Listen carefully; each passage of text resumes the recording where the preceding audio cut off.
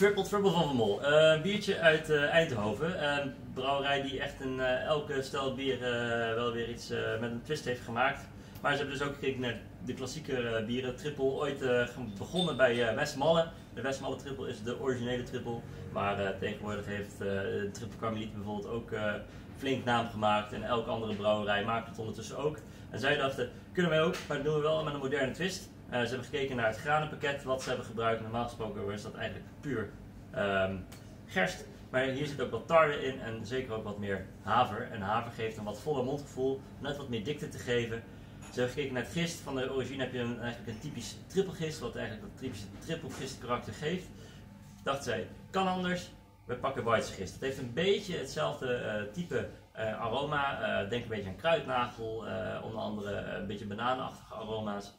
Eh, want er wordt natuurlijk een heel ander bier mee gebrouwen. Maar in, eh, uiteindelijk dacht zij, als we dat pakken, dan zal het waarschijnlijk wel heel mooi uitkomen.